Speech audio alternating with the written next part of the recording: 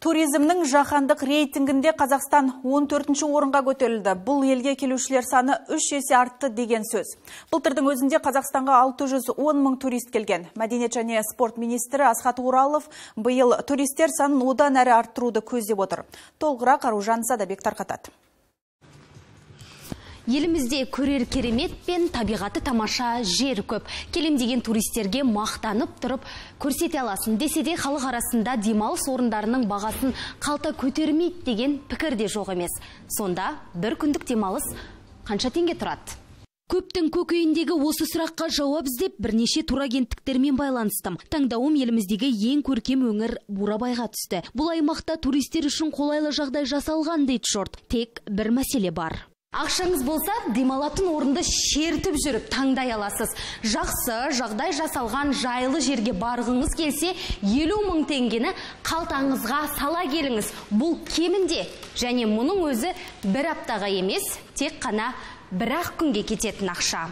Я, жасыратыны жоқ мұндағы бағаны көптің қалтасы көтере бермейді. Осыны ескерген мәдениет және спорт министрі Асхат Уралов бұл мәселенің шешімін табамыз деді. Министр ел ішінде алынған тур құнының 20%-ін қайтару туралы ұсыныс айтты. Яғни енді жолдама ресми туристік агенттіктен сатып алынса, белсенді емес маусымда кэшбэк алуға мүмкіндік бар. Министрлік осы арнайы туризмді дамыту мақсатында кеңес құрады. Бұл кеңеске біздің қоғам қайраткерлері осы саланың нағыз жанашырлары кіреді деген ниеттеміз. Сондықтан да кәсіпкерлерді шақырамыз бірлесіп осы өткір мәселелерді көтеріп шешу жолдарын бірлесіп шешеміз деген ойым бар.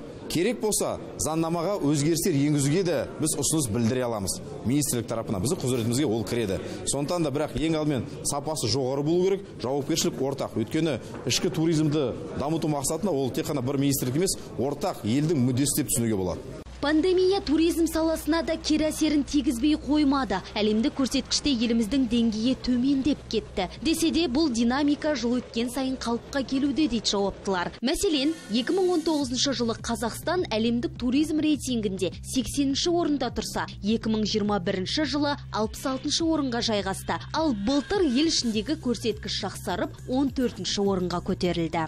Который будут стимулировать Кейінгі 9 айда қазақстандық ішкі туристер саны 6,5 миллион болды. 2022 жылдың қорытындысы 8 миллион шамасында болады деп отырмыз. Бұл біздің 2025 жылға қойған көрсеткішіміз еді. Туристік ағымның ұлғаюына байланысты орналастыру орындарында көрсетілген қызметтер көлемі де артты. Қонақжайлар, демалыс орталықтары, қонақ үйлер және басқа да орналастыру орындары 9 айда 130 миллиард теңге табыс тапқан. Бұл 2021 жылмен салыстырғанда 50%-ке көп. Туризм ел болашағы оны дамыту арқылы әлемге таныламыз, көкке өрлейміз. Қазақтың кең байтақ даласын бүкіл жаһанға таныстыру сіз бен бізге ортақ міндет. Аружан Задабек, Бағлан Жаңғозин, Астана Таймс.